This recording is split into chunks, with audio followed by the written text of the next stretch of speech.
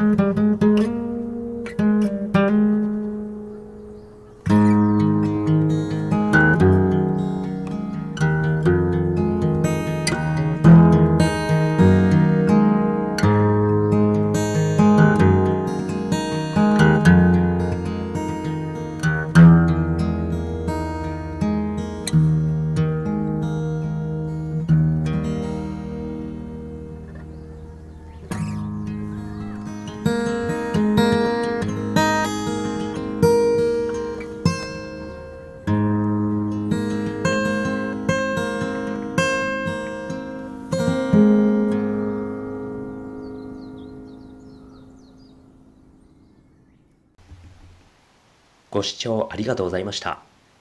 スマイルマイルのチャンネル登録をよろしくお願いします。